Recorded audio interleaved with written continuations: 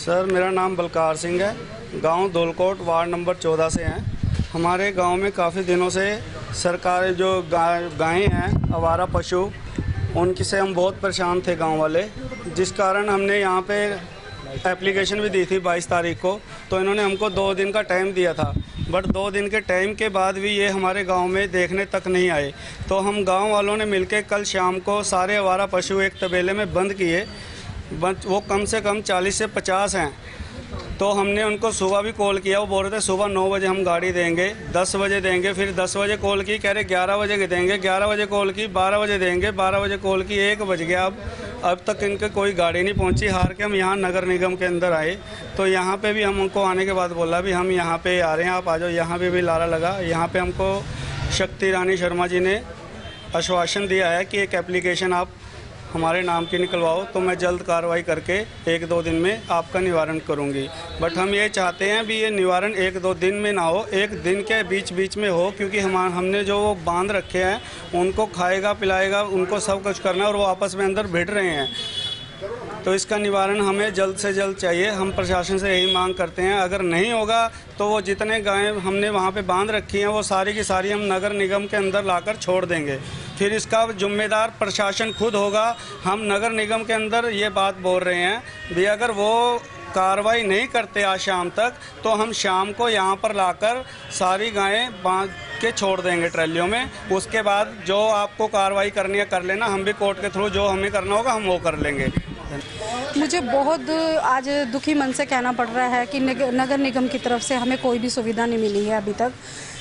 यहाँ पे जो दुलकोट गाँव में और गोवर्धन नगर में और मॉडल टाउन में आप देखो, देखा जाओ, जाए, अगर आज भी आप अभी भी इसी वक्त वहाँ पे देखेंगे तो कुछ आवारा पशु घूम रहे हैं। वहाँ पे लोगों को इतनी दिक्कत हो रही है, इतनी दिक्कत हो रही है, कई बच्चे घायल भी हो चुके हैं जो उन आवारा पशुओं ने टक्कर मारी है, कई लेडीज़ों के चोट लगी है।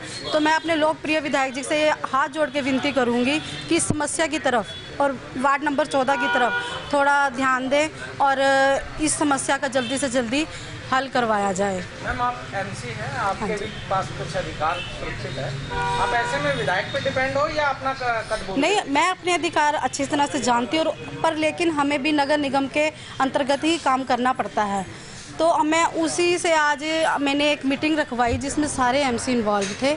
मैं, मैडम मेयर भी इन्वॉल्व थी। हमने अपने हाउस मीटिंग में भी ये मुद्दा उठाया गया था कि जितने भी आवारा पशु हैं, सुअर हैं या गाय हैं, इनका टेंडर जल्दी से जल्दी हो। पर लेकिन नगर निगम में इस टेंडर का कोई भी अभी अता पता ही नहीं, जिसकी वजह से अम्बाला की जनता का ये हाल है।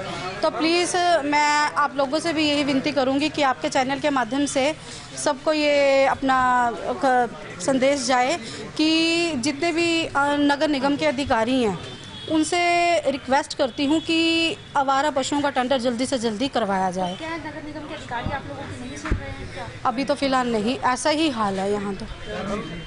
मेयर ग्रुप का ये कहना है कि अधिकारी उनकी नहीं सुनते। आप भाजपा से संबंध रखते हो आप कहते हो कि आपकी नहीं सुनते तो देखो इसमें कोई पार्टीबाजी नहीं है कि मैडम के एमसी नहीं सुनते या भाजपा के एमसी नगर निगम जो कार्यगति अपनी शीलता से करता है उसमें कोई वृद्धि नहीं हो रही। उसमें कोई वृद्धि नहीं हो रही वो आज भी वही है और कल भी वही था। आपके वार्ड के लोगों का आरोप है कि वो आपसे लगातार संपर्क कर रहे थे लेकिन आपने उनकी कोई भी बात नहीं सुनी। नहीं मैं कल से इनके साथ संपर्क में हूँ। मैंने इनको यही जताया भी आज अगर नहीं निगम कुछ करता तो हम गौशाला वाले से बात करके वो गाय उठवाएँगे। इसका हल तो यही है। अब ऐसा थोड़ी ना कि हम अपने वार्ड से कहीं पर भी छोड़ दें। देखो वहाँ के भी लोग परेशान होंगे तो प्लीज़ मैं तो इनसे यही विनती करती हूँ कि मुझे शाम तक का टाइम दो। मैं ताकि किसी गौशाला से बात करके वो गायें वहाँ चढ़वाई दी जाए।